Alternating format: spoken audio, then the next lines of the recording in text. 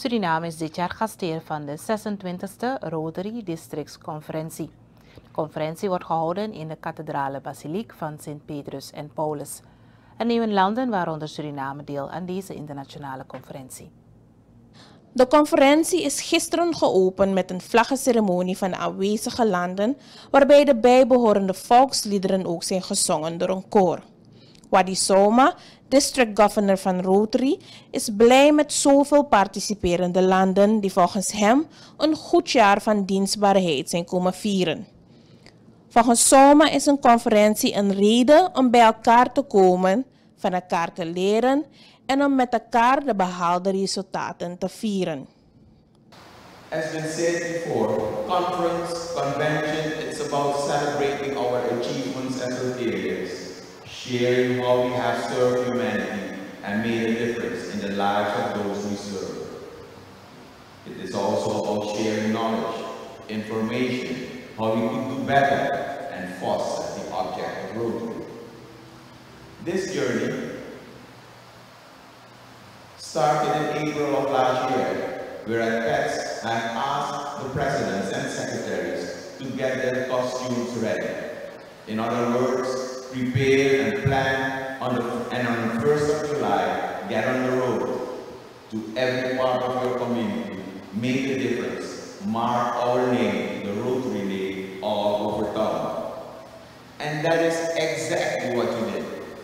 On Friday and Saturday, we will hear from you about how you have made a difference. Some of you will tell us more about your projects.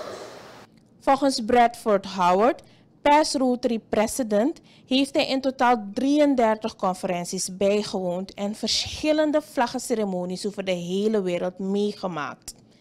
Bradford benadrukte dat hij nog nooit zo'n emotionele, representatieve en respectvolle openingsceremonie van Rotary heeft meegemaakt.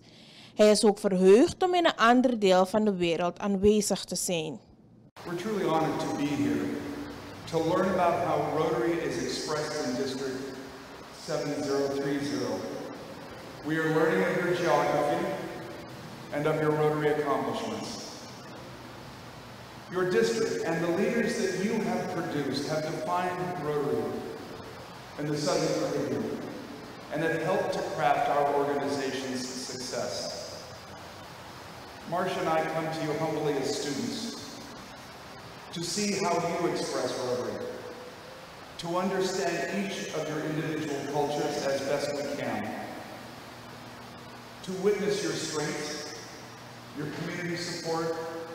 What I believe is an outstanding feature is the way that you embrace the youth of your community, your sense of hospitality and friendship. We are also here to help you identify your strengths and to help identify your challenges, to act, if you will, as a mirror, as objectively as we can, to share and celebrate, and to offer our hand in friendship to make you stronger. Bradford Howard, past president van Rotary International. Hij sprak gisteren tijdens de openingsceremonie van de 26e Rotary Districtsconferentie in de kathedrale basiliek van Sint Petrus en Paulus. De conferentie wordt morgen afgesloten.